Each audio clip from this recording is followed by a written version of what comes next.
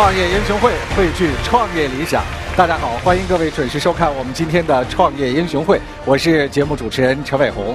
此刻呢，我身旁的这两把红色的座椅特别的醒目，它是我们今天节目现场的投资签约椅。对于我们身后的十六位投资人来说，要想坐上投资签约椅，跟优秀的创业者完成投资签约，恐怕要经过一轮又一轮的角逐。不过，我相信此刻的他们早已经做好了准备，期待着各路创业英雄的闪亮登场。让我们用热烈的掌声欢迎身后这十六位投资人，欢迎他们。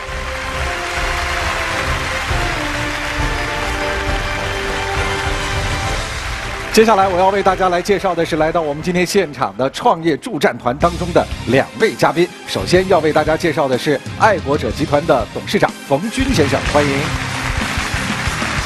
另外的这位嘉宾，他的很多的产品相信大家都不陌生，他是秒拍、小咖秀、一直播的首席执行官韩坤先生，欢迎。创业英雄会节目是由中国一汽红旗品牌独家冠名播出，创业理想红旗相伴。在人类发展的历史上呢，日新月异的科技总是颠覆着我们对未来的很多的想象。试想一下，在二十年前的某一天，当你手拿着无绳电话的时候，是不是充满了兴奋，充满了好奇？在那一刻，你一定是沉浸其中，你完全想象不到，在二十年之后的这一刻。无所不及的移动互联网，早已经让今天的这个世界又变得日新月异、天翻地覆了。电视机前的各位一定期待着我们今天创业选手的闪亮登场。好了，马上我们一起来走进第一位创业选手的项目，看一看他的创业风采。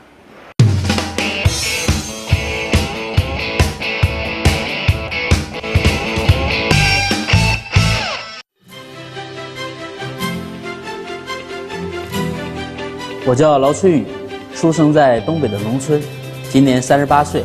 中专毕业之后呢，就进了政府机关，从部门领导到市长秘书。后来呢，我就毅然决然地选择了创业。我做过几个项目，其中呢也碰到过很多的困难，但是我都扛过来了。二零零二年，老天眷顾我，给我添了个宝贝闺女。宝贝闺女和我可亲了。转眼孩子要上幼儿园了，我在我们市里没有找到一家满意的幼儿园，一任性，我就给他开了一家，没想到竟然发展成为全市最大最好的幼儿园。后来女儿上小学，我又不能给她开一所小学，得了，我送她到长春最好的小学吧。我认为，父亲能够给女儿的爱，就是给她最好的教育。二零一二年，一场疾病击垮了我，也是因为患病，所以陪女儿的时间多了许多。女儿因为我能够天天陪她而兴奋异常。也是因为这场病，让我重新找到了创业的方向。希望通过我的创业项目，能够让更多的父母有更多的时间去陪陪他们的孩子。于是，二零一四年，我创办了人人科技。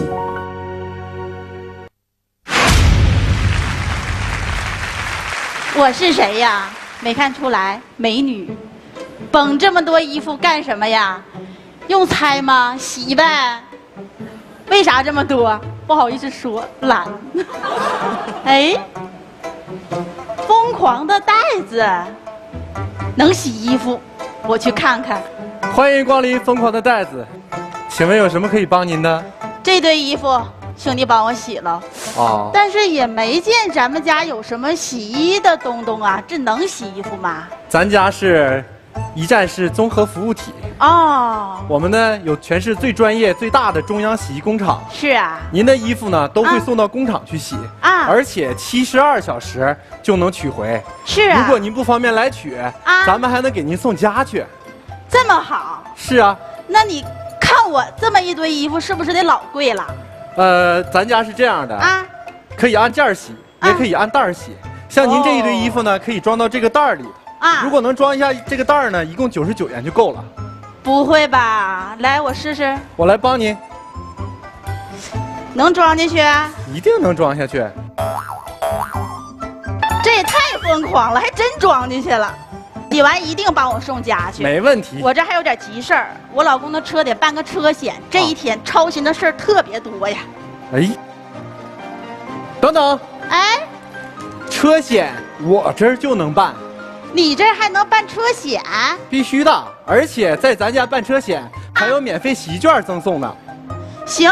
我正要去办，这是我的车险明细和现金。OK，我现在就帮您办理。快快点帮我办啊！您的车险经过优惠，一共是五千元啊，而且还有送您的五百元洗衣券，是您办保险赠送的。五百元洗衣券给我了？对呀。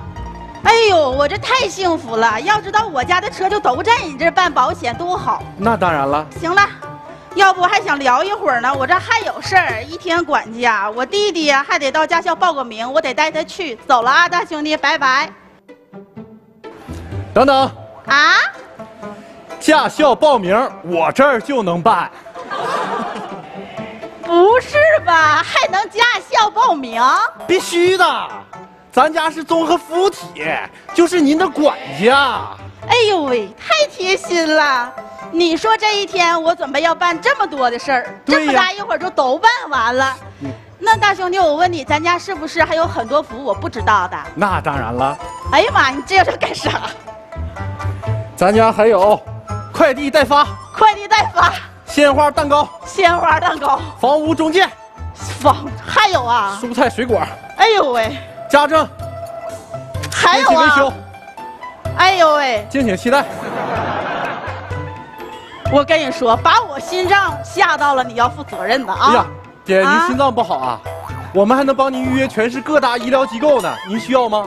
这个我真不需要，谢谢你，我真走了，大兄弟，别逗我了啊！好的，再见。我走了，我走了。等等，啊？请关注创业英雄会。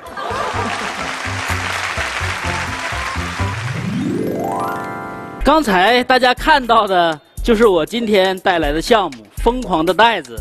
刚开始的时候啊，我们就是想做一个这样的社区洗衣管家，通过招商加盟的方式，每个小区一个店，啊，让小伙伴呢在自己的小区里面投资几万块钱建设这样的一家店。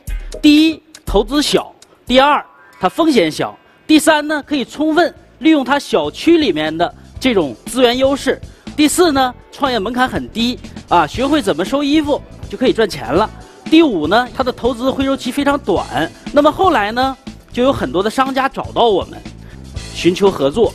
那么我们发现这里边蕴含着巨大的商机，所以呢，我们在我们部分的这些社区综合服务体里面植入了一些其他服务，像保险、驾校报名、快递等等。那么效果非常的好。通过洗衣这种高频刚需的服务切入，可以快速的获取用户。过去的几个月时间，我们在长春市已经布局了五十八个这样的社区服务体。未来，我们要在长春市布局至少五百个这样的社区服务体，要在五年之内，在一百个城市建设一万五千个这样的社区服务体，完成这种品牌的规划和战略布局。谢谢大家。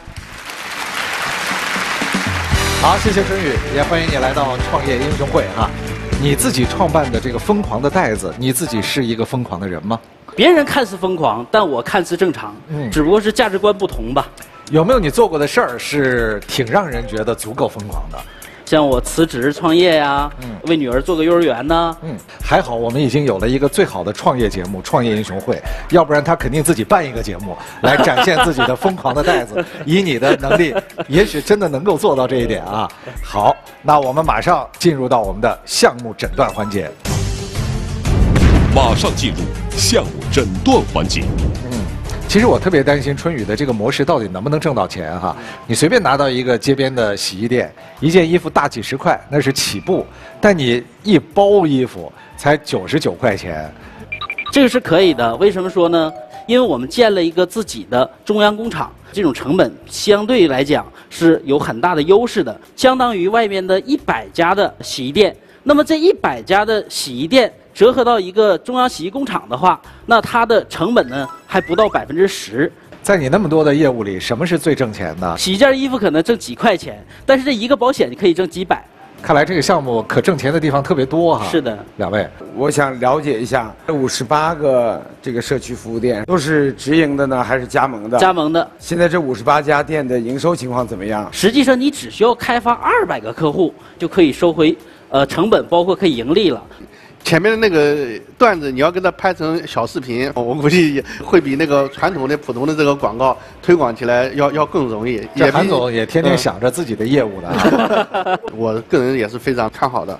你比如说，现在物业在强调它的这个管家式的服务，其实呢，很多的物业它是做不到的。你的成为了它的一个非常好的一个补充体，我还是挺看好的。假如我今天坐在投资人的这个席位上，我一定会投资的。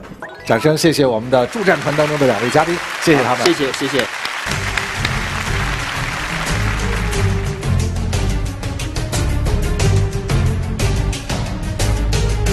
我们和劳春雨一块儿来进入我们的投资谈判环节，马上进入投资谈判环节，让我们一块来看看十六位投资人他们对于这个项目的投资意向，来，请表决。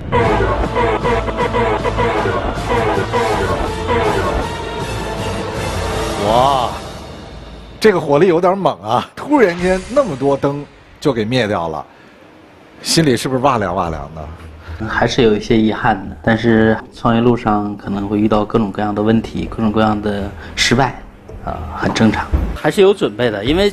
呃，我这个项目在东北，东北呢本身投资就很少去的。其二呢，这是一个生活服务类的项目，因为大多数投资呢还是要要快的啊。这个项目相对来讲呢，相对要有些慢的。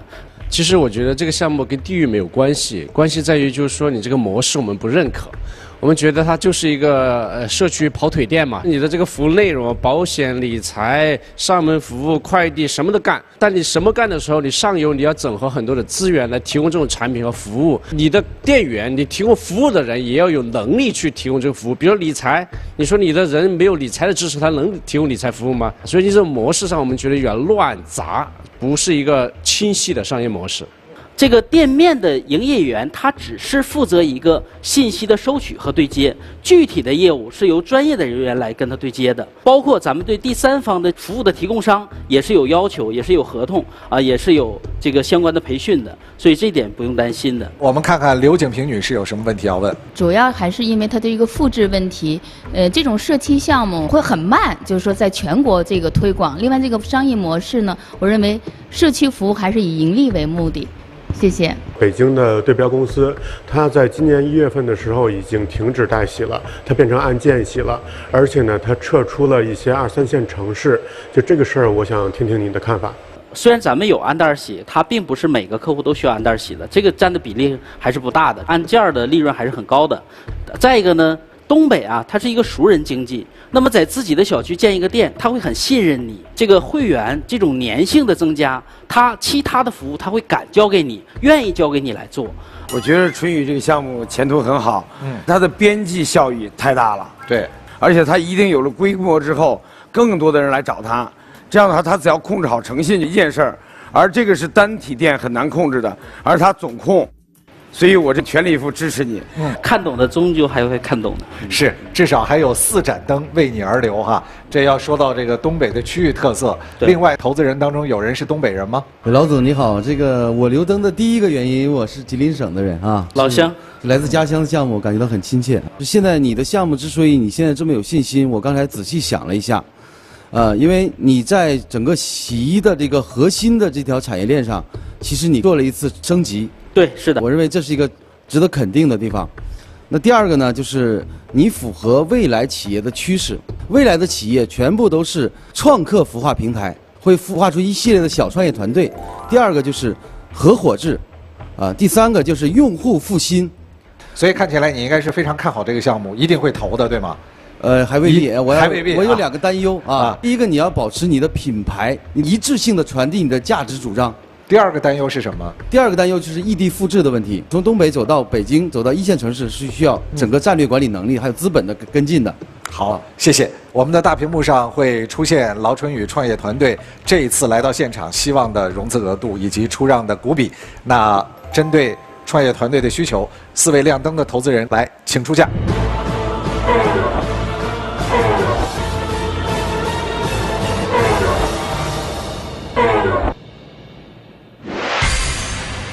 看到十六盏灯都灭的时候，自己的心还是很难受的，还是有一些遗憾的。他做的项目的类型，我觉得还是缺乏新意。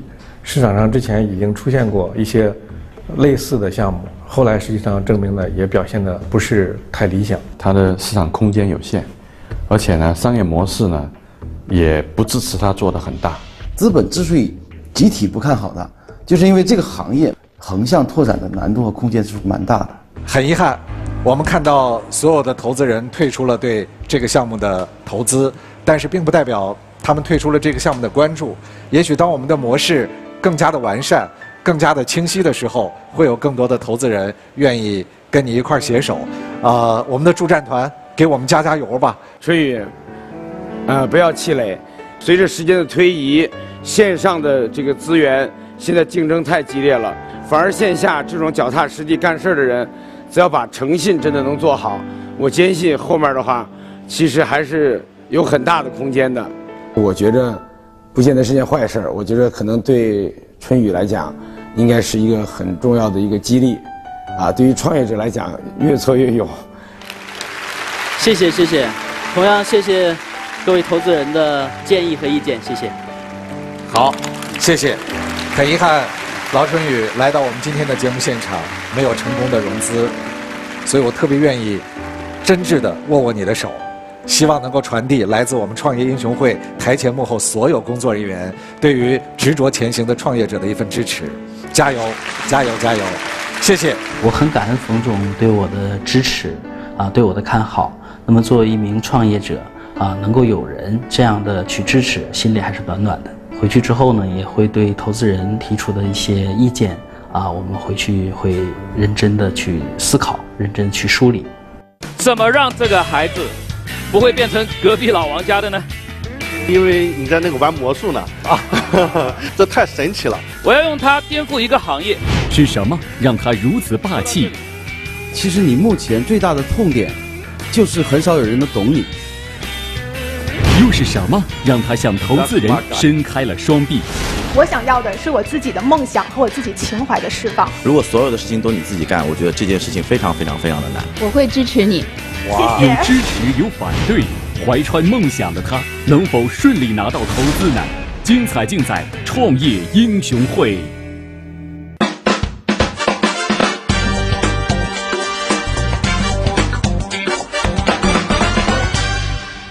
创业英雄会选手服装由劲霸男装特别赞助，劲霸男装更好版型，更好夹克。让我们来欢迎下一位创业者。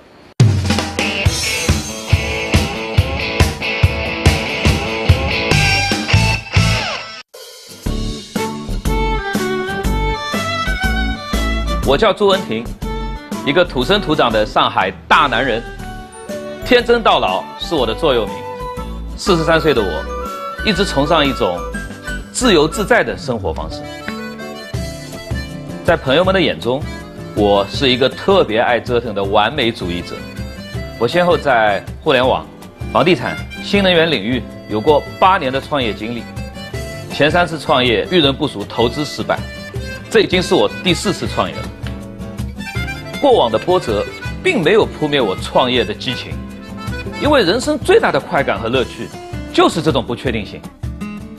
所以在我看来，我就是一个特别爱琢磨、特别爱较真的人。可能许多事情在许多人的眼里，啊，就这样喽。但我不，我常常会生出一些这样那样的念头。哎，这不合理啊。哎，为什么一定要是这样呢？哎，可不可以是那样？在生活中，人们经常会抱怨啊，强插座不够用，然后呢，拖线板又烦又乱，埋电线、埋插座、开墙打洞，噪音和粉尘也是让人无法忍受。在我经历了上百次的失败、上千次的实验之后，我们的神奇插座终于诞生了。我相信，神奇插座将成为一款全球领先的颠覆级产品。它必将彻底改变人们的生活方式。我要用我的产品，去拥抱那些愿意拥抱我的人。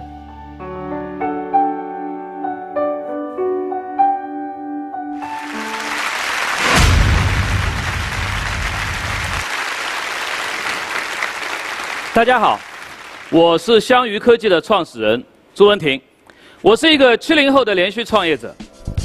今天呢，我给大家带来的。这个项目是一个移动插座，我要用它颠覆一个行业。这次创业之初，我就给自己暗暗的定了一个愿景：我做的产品一定要具备三大要素。第一，够大众，每个人都可能用；第二，够颠覆，可能硅谷也没有，X 大上面也没有；第三，够壁垒。我们想象整个产业链，大家共同来做的这样一个事情，是值得像云计算、大数据这些东西一样被去大声呼喊、去倡导的一个产业理念，一个生活理念：非灵动、无智能。我就给大家演示一下我们的产品，看看它到底强在哪里。这是我家的墙，这是我家的地脚线。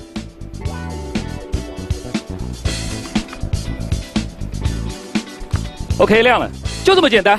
它安全吗？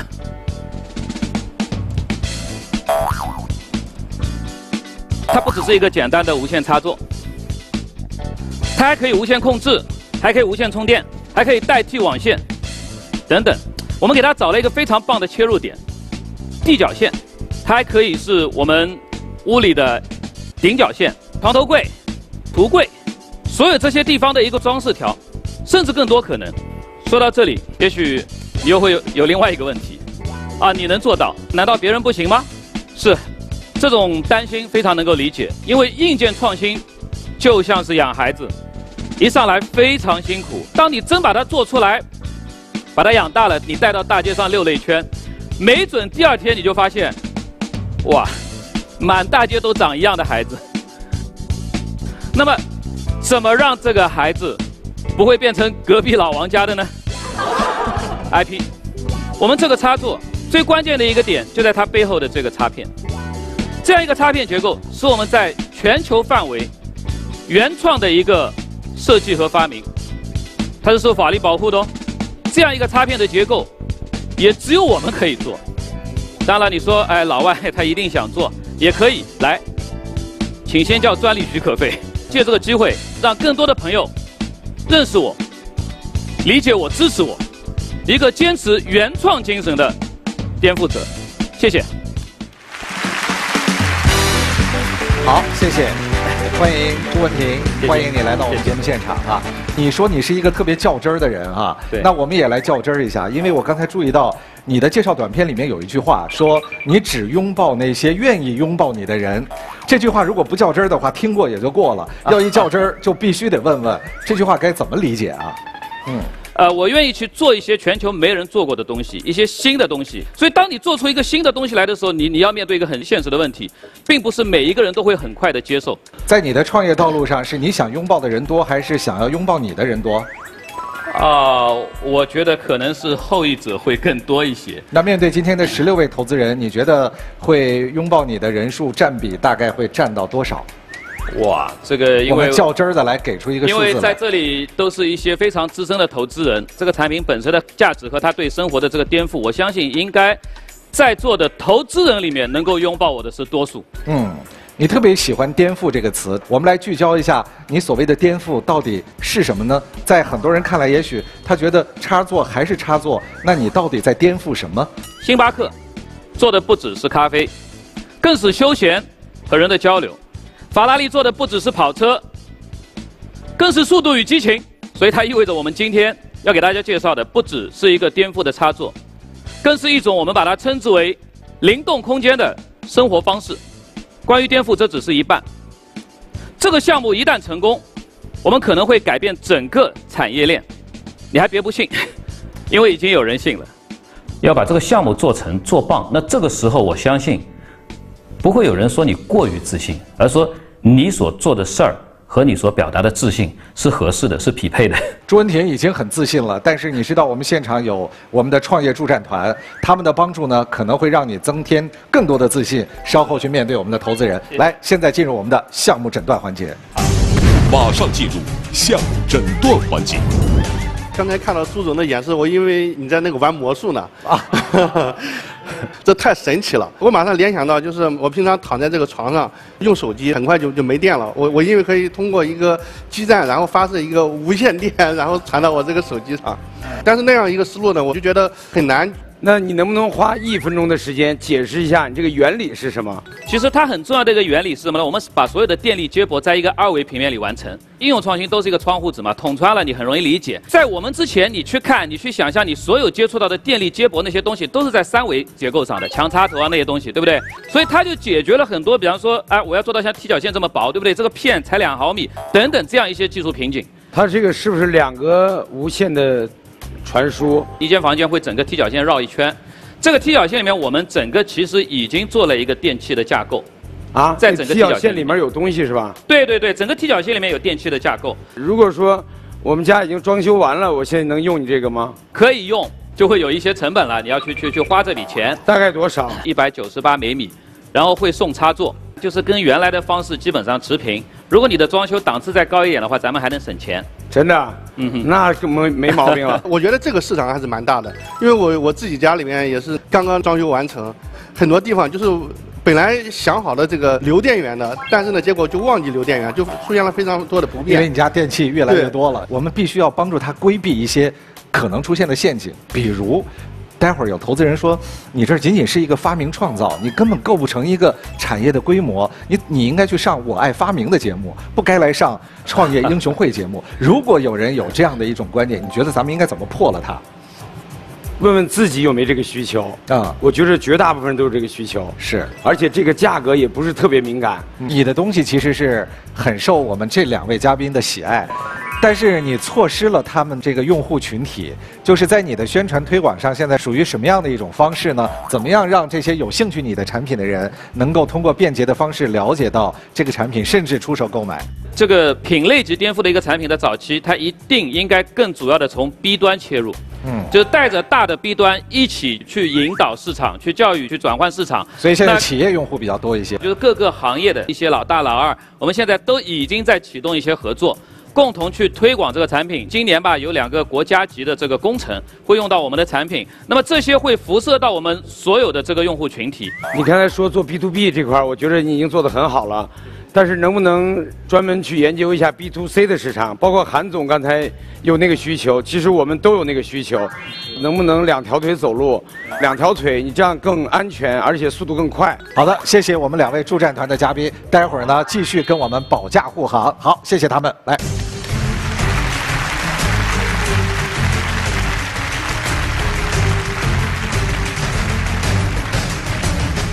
来进入我们的投资谈判环节。马上进入投资谈判环节。十六位投资人当中，到底他们对这个项目有什么样的看法？请表决。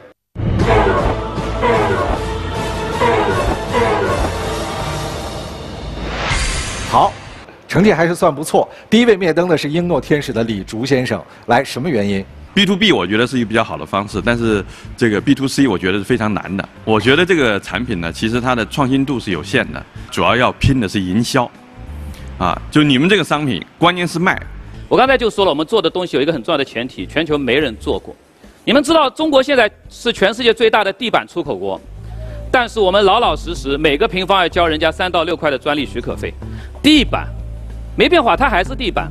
但是我们小时候地板都是敲钉子的，对不对？刷白胶的。现在全世界地板都是卡的，那是一个品类级的创新和颠覆。但是关键是老外把它给做了，我们做了十几年，其实就在老老实实的交钱。这东西你也可以说。它没有互联网思维，你也可以说它没有太大的变化，还是地板。但你知道吗？这就是产业的升级。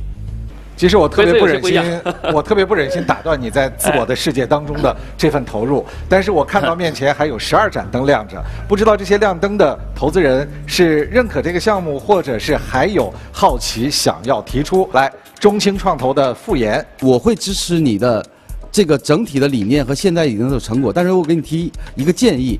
你现在做的 B to B 为主，是依赖于房地产行业和装修行业。那么这个 B to B 是入口，是你现在的一个没有办法的一个选择。所以在下一步你做 B to C 电商的时候，你要构建自己的服务能力，产品加服务类的电商才是 B to C 未来最大的壁垒。其实你目前最大的痛点，就是很少有人能懂你。哇！因为我猜你在背后。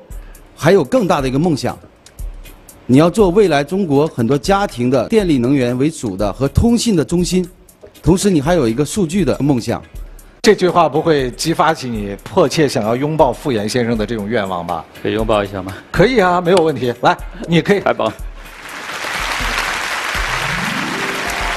谢谢。You're smart guy。他懂我。在现场一开始就大家互相的这样一个心灵上的一个认同感和一个一种化学反应出现了。生活当中碰到一个懂你的人是多珍贵啊！我有这样的思想准备，你做一个新的东西，懂你的人在百分比上一定是少的。是的。但实际上呢，我非常感动，我也非常开心。包括像副总，我得到太多的懂我的人的支持，比我原来预期的要多得多得多。嗯，谢谢。好。来，我们请丰厚资本的吴志勇先生提问。你那个插槽是不是会积灰尘啊？是不是安全？以后小孩碰到了这些问题，是不是好像退后了？还还有一点。会更安全，为什么会更安全呢？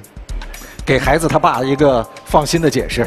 对，刚才我呃我做了一个动作，你有没有没有发现？水都进不去，更别说灰尘了。说到安全性呢，我们已经拿到了全球最大的四个认证里面的三个，那么 TUVCE 和中国的全球唯一一个强制性的这个用电认证，三 C 的认证，我们都已经拿掉了。但是你的一个插的插板都能插得进去，那水一泼还不为什么进不去呢？有专门的防水结构和导水结构，有那个柔性的密封结构。因为我这个可能谈的太技术了，山寨听到这段话会做得更快啊，这个挺。但是我希望。这个我们做一个 open 的交流嘛。好的，交流了这么多之后，到底投资人会对你今天融资需求五百万出让百分之四的股权，给出什么样的一个答案呢？来，各位请出价。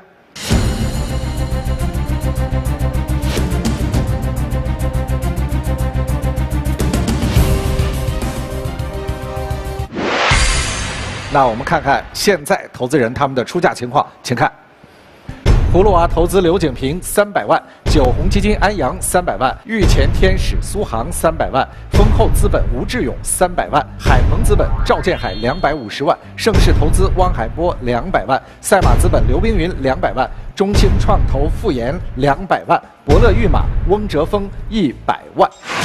接下来呢，你需要从我们所有的投资人当中来选择其中的两位，进入到我们的终极谈判啊。副总，我肯定要选的。似乎我已经看出来，他对中青创投的傅岩情有独钟。我就怕再选一个，几乎就是一个陪跑者。到最后的终极谈判的时候，你最终还是选人家。所以呢，你自己决定吧。这个我都不知道呢。你都不知道啊？好，另外呢，再选一位谁？呃，另外就很难选喽。如果你觉得很难选的话，让我们的助战团帮你出出主意。你可以再问一问。谁能够从资源上帮到你？特别是你这是 B to B 项目。对对对，我不知道我们哪一位老大能够主动的给出一个资源来。我们 LP 中间的好几个 LP 是房地产的背景，所以他们在他们这个房地产协会里面帮一推，就立马把各大的房地产公司全部推进去了。所以说你选我的话，我觉得我一定也不会让你失望的啊。谢谢。所以你的决定，所以我的决定是吴总和副总。祝贺两位投资人进入我们的终极谈判。马上进入终极谈判环节。对于两位投资人而言，此刻最想表达的是什么呢？每人有三十秒钟的为自己拉票的时间，来。其实我跟傅岩是很熟的兄弟，然后我们的基金里面有很多合作，所以不论是你选我还是选他，我相信都可以把这个资源是打通的。我投资了另外两家公司是可以直接跟你合作的，一家是做免息消费贷款的，可以为装修提供单笔十万到二十万的贷款。那第二家呢，互联网家装，它现在是在整个二手房装修的井喷时期，迅速布局到十个省会城市了，啊，所以从二次装修过程中直接可以把你的产品和理念带入。所以这是我跟你合作的理由，韩总，你觉得如果待会儿选的话，到底他应该选择谁？从两边呢看呢都是非常的有有诚意。对我如果说你的话，我会抓阄选一个。哇，好，既然你的初衷不是需要钱，是需要资源，是需要合作伙伴。我觉得可能副总相对更合适一些，帮忙嘛，我们都可以一起来帮忙，是吧？但是钱多一百万呐，那也不是小钱呐，不是小钱啊！你一瞬间就让我们少拿了一百万啊！我觉得真的。钱没关系是吧？现在推广成本非常高，而我觉得副总有直截了当的，现在就能帮到你的地方。我觉得光那一部分来讲的价值远远超过这个钱的部分。嗯，谢谢。听完你这段话呢，吴总有点坐不住了啊。反正吴总是内心深处已经很支持你了，所以他后面再投第二轮就行了。来，我们现场的各位其实也可以给我们创业者一些帮助，拿出你们手中的表决器，请按键。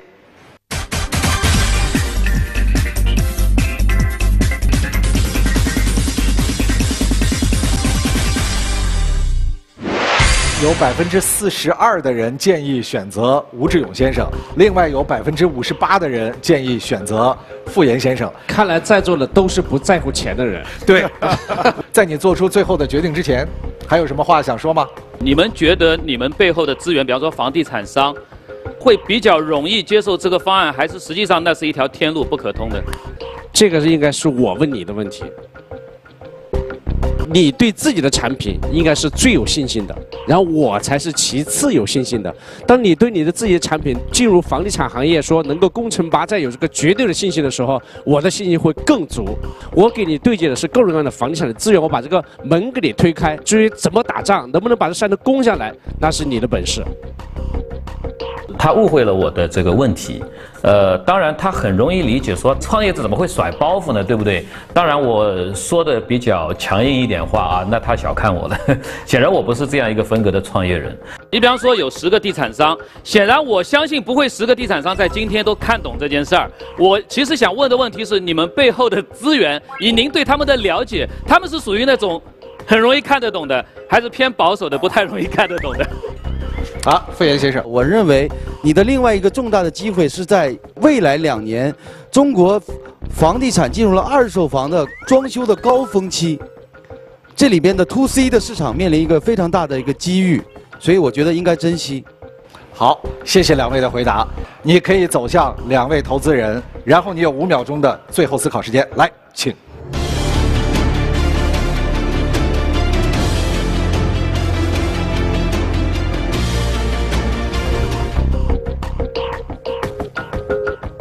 五秒钟思考时间倒计时开始。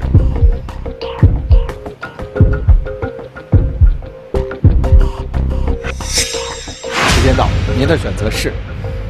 非常感谢吴总，因为丰厚资本是一个非常出名的机构，我也非常期待能够得到丰厚资本的吴总选我了，这没选我了啊！我以为你猜中了答案，但是不知道现在来啊。副总呢，今天是震到我了，因为我觉得他几乎是有备而来，就是很多东西，我觉得他已经想得非常清楚。答案是我可以走了吗？对，你不要你不要把我们虐的这么长时间，好吧？你别急着走。我觉得到目前为止，他只说出了一个事实，就是副总比你更早的送出了一把秋天的菠菜，仅此而已。对，仅此而已。对对。但是最后选谁还不知道。对，但是这边多了一百万，所以我要选择。哎，你这个话补的也不错。我坦率讲，其实我内心是是有有倾向性的，所以我说的是，如果我不选吴总的话，我会错失很多我没看见的东西。吴总，你还有什么东西藏在肚子里啊？我内心真的非常纠结。当时我在站在他们两个中间，坦率的讲，这两个真正创业成功的要素，我都想要。但是我现在这个小小的心脏实在受不了了。我补充一下，哎，呃，如果你选择了我，你也一定不会错过吴总，因为我们俩是非常好的兄弟，我们两家基金也是一起联动的基金，所以。但是，但是，傅岩先生，你现在不要那么自信，你这句话感觉好像他已经选了你，因为这个结论还没有出来呢。对。好，快，我真的被被副总感动了，所以说我觉得我在这一次活动上，我确实是会选择副总。选择副总，我觉得他的选择是正确的，因为选择副总有两个好处：第一，资源直接；第二，副总的精神压力大呀。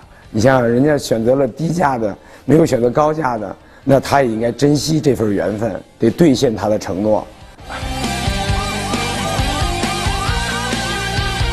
好，再一次把掌声来送给两位，祝贺你们。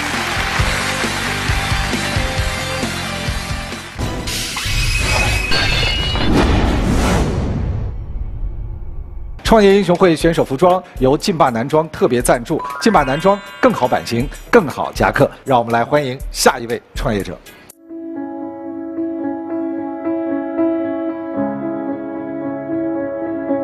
我叫付月南，在我的小伙伴的眼中，我是一个自信、勇敢、行动力强又有点任性的女老板。但是三年前，我就是一个普通的女白领，从来没有想过自己去创建一家公司。大学毕业之后，我进入到了一家外企工作，白天很忙碌，晚上加班。在这样频繁的出差、忙碌和加班之中，没有一秒钟是我自己的时间。终于，我病倒了。这几年一直因为工作而忙碌的状态，到底是为了什么呢？难道仅仅是因为一份薪水吗？我突然意识到，这种生活方式不是我想要的，这种工作的状态也不是我想要的。我不能再继续这样漫无目的的工作下去了。我决定了，我要改变。从那个时候起，我开始努力的读书，我开始喜欢上了健身、攀岩这些勇敢的运动。重新找回了那个勇敢自信的我。去年的今天，我和同学一起创立了新能源汽车智能无线充电项目。我希望通过我们的努力，可以真正做到科技改变生活。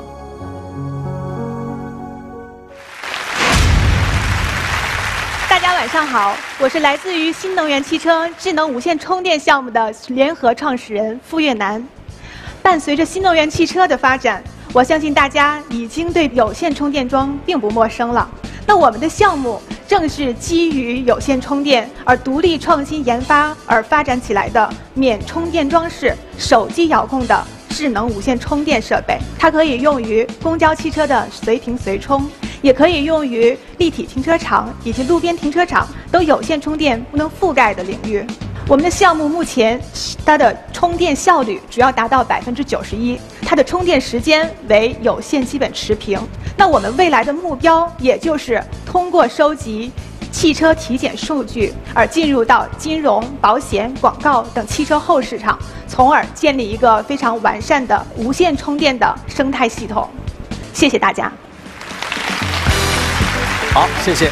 我们也欢迎顾月南来到我们的节目现场。你好，谢谢。三年前你还是一家国际知名机构当中的白领，三年之后你已经转身变为了创业者。你还会常常想起，甚至说留恋当年白领的生活吗？我偶尔会想起，因为那个时候没有压力。但这三年的时间让我意识到，创业更多的可能是我未来所要经历的一些事情的一些压力和动力。压力会大到什么样的情形？其实每一天都在不同的大大小小的困难之中，一天一天的度过着。有的时候可能晚上就睡不着觉。会后悔自己的决定吗？从来没有后悔过，因为那样的日子我已经经历过了。我想要的是我自己的梦想和我自己情怀的释放。我想要的是我的项目能够改变一些东西。这是一个爱上了创业的非常执着的女性。我们一起来进入到接下来的项目诊断。马上进入项目诊断环节。其实每次在我们的舞台上看到女性的创业选手，我常常会觉得，甚至是不自觉的就想起，她们一定会比男性承担的压力更大啊。女同胞创业的话，比男同胞确实难，因为女同胞还有家庭的压力，又要去承担事业压力。确实，对于创业的女同胞来讲，我希望全社会能给予更多的理解和支持。掌声鼓励一下越南。谢谢老师。哎，而且越南选择了一个高科技。你觉得这个项目怎么样？我觉得方向非常好，但是我不知道现在进展的程度怎么样了。我们的这个技术其实是在试验阶段，但是我们已经谈了几个充电运营站的试点工程，然后这些工程呢已经基本达成合作的协议了。然后同时呢，我们第一批的集团用户，包括一些智慧城市的项目，也都达成了协议。但是我今天站在这里，就希望能够拿到各位投资人的钱，帮我去启动这些项目。是专利技术吗？目前来讲呢，打算申请专利的一个过程当中。这个领域当中，其实有很多的巨无霸在跟他们的竞争当中，到底能不能做到势均力敌？甚至有一天，我们有没有能力来回击他们的一次又一次的进攻？你自己有信心吗？我对这一点是非常有信心的，因为其实我们的技术团队已经囊括了国内的所有的专家。那从国外来讲呢，不管是一些大的巨头，还是一些车厂，他们的技术还是处于测试阶段。那在这个市场里面，我们是非常有优势的。嗯，能不能形容一下，就是使用的场景？首先是说，未来的我们的城市里面，到处都是无人驾驶的充电汽车的时候，有线充电一定是不可用的，只有无线充电才可以用。第二个场景是说，在立体停车场和路边停车场这样的地方是没有办法架设有线充电桩的，这也是我们的优势。那第三个场景是说，在正常的停车场里面，我们是没有桩，所以我们可以节省三分之一的面积。简单的说一下。到底什么原理能够做到这个无线充电？其实这是一个非常简单的电磁耦合原理。我们在汽车的上端有一个接收端，然后在停车场呢会有一个发射端。当接收端与发射端相对上的时候，我们这个充电的工作就开始了。然后整个的工作是通过手机来完成的。对接的这两个点的话，它之间的距离需要多长距离？现在我们的技术能够达到的是二十厘米。好，掌声谢谢我们的两位助战团的嘉宾，谢谢他们。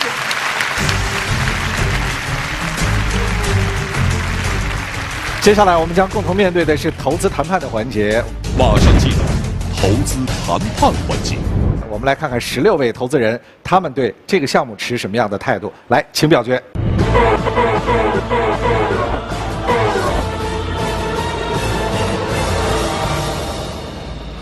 好遗憾啊，我想象当中的被疯抢的场面没有出现啊，好像疯狂按灯的场面倒是出现了。来，澎湃资本的童杰。如果所有的事情都你自己干，我觉得这件事情非常非常非常的难。首先，是不是所有的汽车的车型都可以使用，这是一个问题。第二件事情是你圈地的问题，不管是政府还是企业来做投入去圈这个地，你们公司的强项在于技术，但这两件事情都不是你公司的强项。现在各城市都在投入这个环保汽车，特别是减少雾霾。所以这个市场来讲很靠谱，我觉着这个是城市本来就要花这个费用，这些像公交车站就县城的补电，我觉得这个地方可以重点研究研究，好吧，各位投资人。助战团的嘉宾给我提供了非常好的引导方向，让我来展示我项目的优势。他们的这些解答对我其实是非常有帮助的。我刚开始这个项目还是蛮激动的，最大的普及我们觉得障碍在哪呢？其实是家里拉到车厂的这根线。但听完了以后呢，发现你不是解决那根线，你是解决到了车厂插的这根线，所以我一下子这个热情就降掉了。你觉得他理解对了吗？呃，基本上是对的，但是之前的那根线，我们也是我们未来的方向，所以您可以不要放弃我们，未来继续关注。对对对对对，等一等哈。就你这项技术现在还是在研发阶段，那你融资，你还是投入到研发呢，还是投入到什么时候投入到市场上这个技术？怎么用？我们这一次的融资主要是做充电运营站的试点的建设工程，以及前期的启动资金。我会支持你，谢谢。好，谢谢谢谢。来，有没有可能你考虑到？在这个汽车生产前置安装上，可不可以把你这个功能用上去？整车厂的合作是需要一个三到五年这样的一个长期测试阶段的，所以前期呢，我们可能希望能够从快速的切入到集团用户的这样的一个市场。有了各位的投资之后，再开始在技术上进行大量的投资和研发。如果这些钱可以解决你这个问题的话，我是愿意关注的。那您就投资我们吧，我们就会去做这件事儿。好坚决哈！来，创业团队的融资需求是六百万，出让百分之六的股份。那接下来呢，要请我们的投资人写出你们的投资额度来，请出价。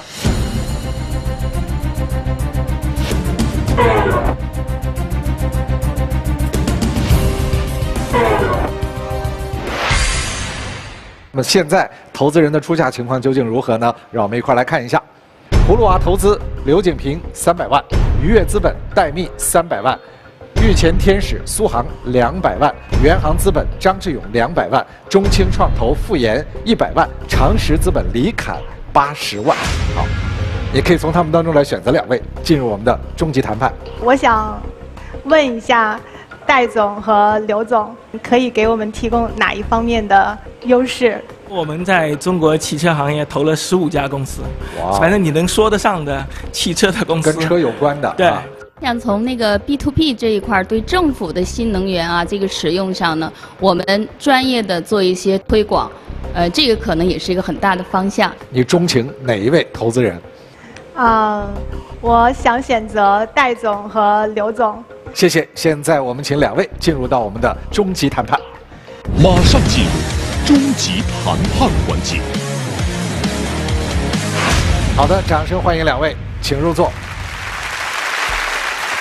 三十秒钟的时间来梳理一下自己的思绪，争取最后能够跟傅越南和他的创业团队牵手。这个项目目前呢还是在研发阶段，后续呢十年或更长时间，我们愿意去支持你们。嗯，谢谢。好，一直陪你们走下去啊！如果我们这个技术非常可行的话，我们肯定会跟未来汽车、包括神州一起来考虑这样的项目。嗯，好的，谢谢。来，让我们的助战团出出主意吧。我觉得在你现有的这个阶段，还是选择一位女性投资人比较好。因为呢，她也是一位女性，她会能理解你方方面面的这个难处。好，现在走向两位投资人，来，有请。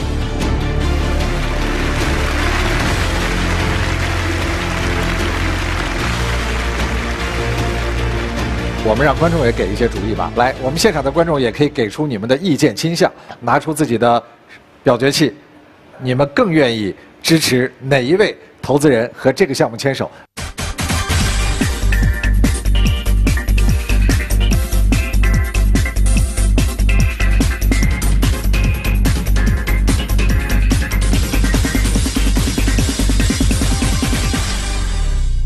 百分之四十三的观众建议你选择刘景平女士，百分之五十七的观众建议你选择戴密先生。来，五秒钟倒计时，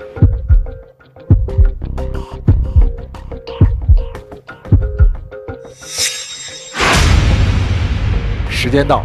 我有一个问题要问戴总，您手上的资源都是我们所需要的，而面对一个创业企业，我们想要做的就是首先活下去。所以我想问，您愿不愿意陪我们一直走下去？我们最大的一个优势就是能从头到尾一直做。嗯。我还有一个问题问刘总，您前面一直都没有问我任何的问题，但是最后却给了我一个非常让我感动的答案。那在这个过程当中，您就没有怀疑和疑问吗？呃，我问过你问题。首先，我想这个资金投在哪里？我首先认为资金还是很长时间投到研发的阶段，它更成熟的产品，才市场才能更容易接受。另外呢，对于我们年轻的女性，我想需要给你们更多的支持。所以我想呢，这个时候这种信任和我们长期的这个合作，可能是最重要的。谢谢。到底该选谁？嗯。到底会选谁？首先呢，真诚的谢谢刘总。这个意思是，呃，面对戴总刚才说的那句话，我希望不管我选择了谁，您都要继续的、一直的支持我。非常感谢您对我的信任，谢谢。剧情好像还在扑朔迷离当中。作为唯一的女性投资人，我一定会选择他。好，祝贺刘景平女士，谢谢。当然，我们要谢谢戴总，谢谢谢谢您。这个决定蛮出乎我意外的，很多投资人都知道。我们在这个行业里头专注了十几年，投了很多我们叫十亿美金以上的公司。应该让越南来跟我们揭晓一个谜底了。其实我们是有一些纠结的，因为两位投资人都是有很多的资源，但是在未来的这条路上，可能面对我们这个团队，一位女性的投资人会更理解的我们，所以最后我们决定选择了这位女性的投资人。当时二选一的时候，我第一个印象想到的就是我的企业要活下去，所以我特别想选戴总，因为他手上有了太多太多的资源让我去，呃，觊觎了。但是回过头来，回到我的初心，因为我选择这个项目的时候，也是因为一种情怀。这位女性的投资人，我能从她的话中听得到，也有一种情怀在，所以我相信她能够一直支持我走下去。好，让我们用掌声来祝贺双方完成了现场的投资意向签约。谢谢谢谢，他们在拥抱当中一定会给对方更多的力量，携手前行。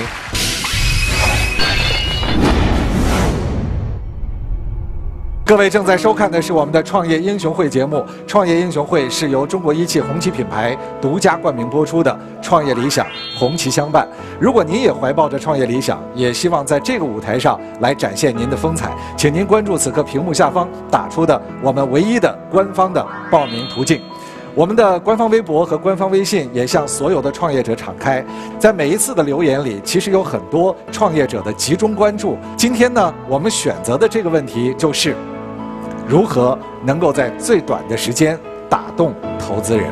十分钟之内必须讲清楚自己的产品和价值主张。说我们要很看重人事合一，就这个事情为什么是你做而不是别人做？别人都能做，为什么偏偏是你做？一点呢就是坦诚，我不喜欢剥洋葱。第二点呢是说你要做好功课，你告诉我竞品是谁，你告诉我这个市场里还有谁，为什么你比他们强就够了。投资人看什么？是想看创业者，他是真诚的、自信的、坚定的眼神。听，听什么？是想听到简单的、清晰的、全面的阐述。